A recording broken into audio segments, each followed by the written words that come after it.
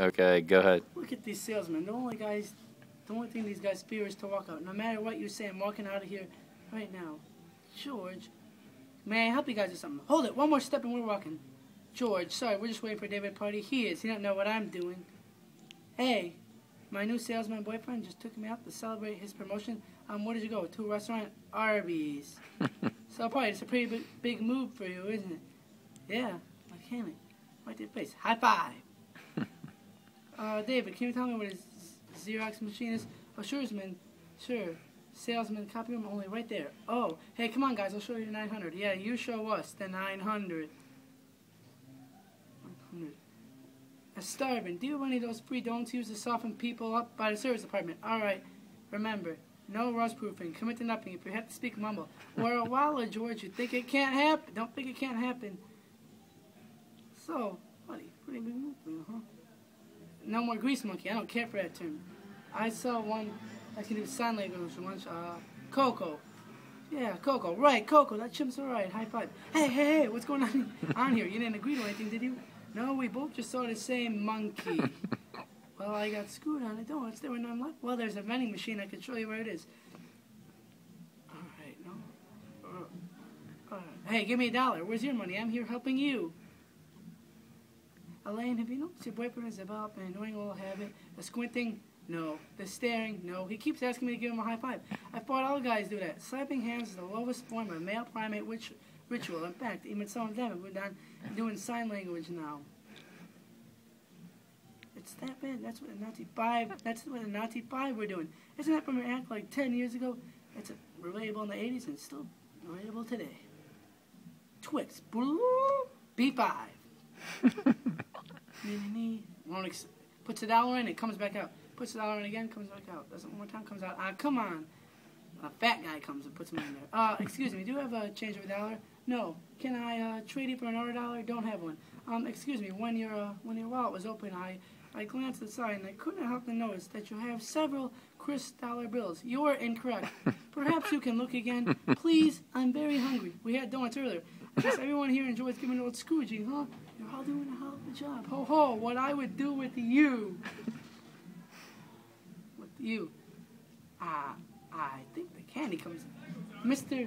Mr. Kramer, we're really not allowed to use the car's when near us. Now look, great. I'm very close to giving this card out. My celebrity friend is considering my full endorsement. See if I can get a smile from his family units. Hey ladies, it's a Saab 900. What do you think? Can I interest you in a little supplemental restraint? What's that? I think the candy comes out over there.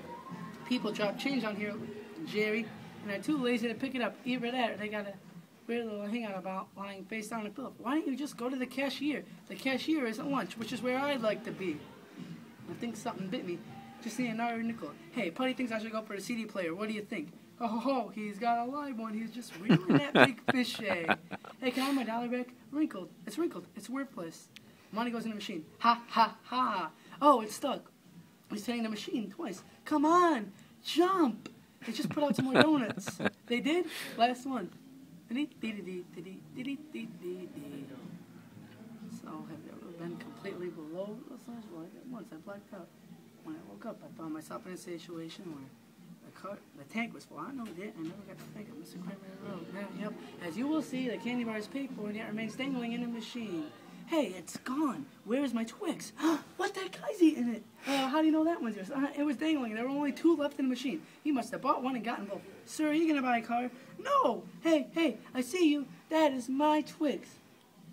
He takes a bite in front of him. Oh, ho, ho. Oh, oh. Clever Jack. Got it. Yay. High five. On the flip side, David, um, don't let me hang it. You're a salesman now. And a high five. It's very grease monkey. What did I tell you about that? Uh, I'm sorry, but the high five is just so stupid. Oh, yeah? I'll tell you what's stupid. You, stupid? Well, that is really mature. Oh, yeah? So are you. You're the grease monkey. That doesn't make any sense. I am leaving. Ah, uh, if you leave, we're proof. Fine, we're proof. Oh, so we're leaving. That's right. High five. On the flip side, taking me to Arby's. Hey, where were you? Ah, let's finish this up. Did you two break up? That chick's whack. We're history. Just left out a couple of things. Uh, rust proofing, rust proofing, transport charge, storage charge, additional overcharge, finder's fee. Finder's fee was all a lot. Yeah, that's right. We got floor mats, keys, keys. How are you going to start it? Excuse me, I believe you just ate my Twix bar. It was dangling, and when you purchased your Twix bar, you got a little freebie, and you never bothered to ask why or seek out its rightful owner. First of all, it wasn't a Twix, it was a Fifth Avenue bar. You must think I'm pretty stupid. That was no Fifth Avenue bar. I can see the crumb right there in the corner of your lips. Ah, and there's the cookie, and we all know that Twix is only candy bar with the cookie crunch. That's just a little nougat. Nougat, please. I think I reached a point in my life where I can tell the difference between nougat and cookie. So let's not just say things. So we both know Robbie's fabrications. You're getting old lame there. I know about the fame. This guy. Hey, George, stop me. Oh, last one. Listen, you gotta help me out. Elaine and Puddy just broke up. He treats me just like a regular customer now. I tried to tell you, but you won't listen. No, oh, oh, you were gonna get a deal, huh? There's no laws in this place. Anything goes. It's fun, Nicole. Is someone helping you? Stay back. Now, Listen, David, when we first started still, I thought things were going to be different. Now, if you want to play hardball, I got my friend George here, and they can play pretty hard ball. George, man it up. All right, Puddy, listen and listen good.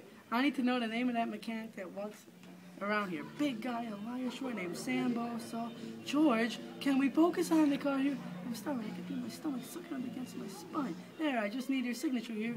And we'll get you that yellow car ready to go. Yellow, I want it black. I can't give you black at that price. George, would you help me, please? Yes, this is wrong. Say it, sister. Just because a candy bar fails to fall from its perch. Oh, God. Does not apply transfer of ownership. Most saw it. Lambert's not going to get away with this. I'll be right back. Okay. Hey, George. I'd like to report a problem with one of your mechanics. When did you bring your car in? Yeah, right. I'm going to get my car repaired at the dealership. Why don't I just push my money down the toilet? Sir, what exactly is the problem? One of your guys, Kipper and Ed, short name, stole my Twix candy bar. Are you saying he grabbed your candy bar away from you? He might as well have. I caught him, and his face was covered.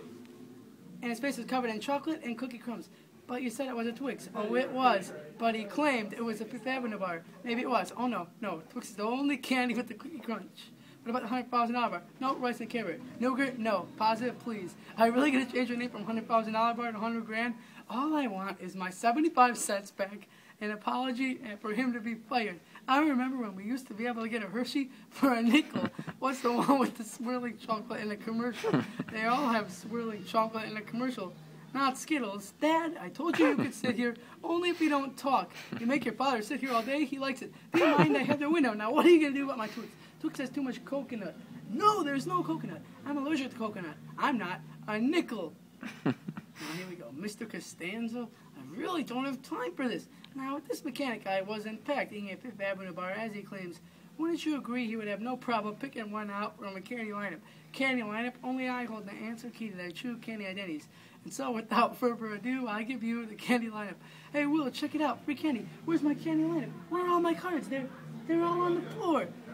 And you, how many Twix does that make for you today? Like eight Twix? No. Hey, this Clark bar is good. It's a Twix. They're all Twix. It was a setup, a setup, I tell you, and you ruined it. You all screwed me again. give me one. Give me a Twix. They're all gone. Twix!